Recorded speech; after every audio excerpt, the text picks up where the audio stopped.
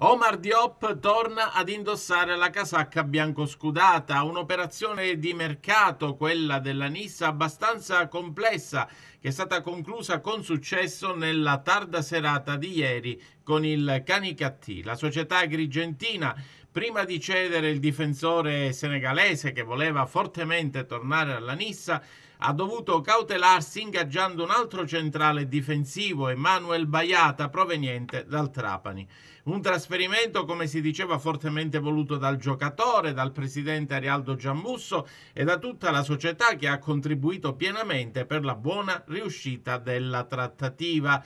Già da oggi pomeriggio Omar Diop si è messo a disposizione del tecnico Angelo Bognanni per preparare con la squadra la difficile trasferta di domenica a Sciacca.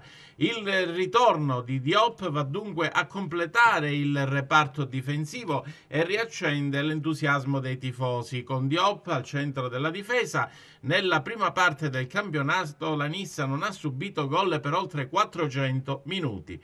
Questa operazione chiude il mercato dei biancoscudati, anche se in queste ore la società rimarrà attenta e se ci saranno altre opportunità last minute cercherà di coglierle al volo.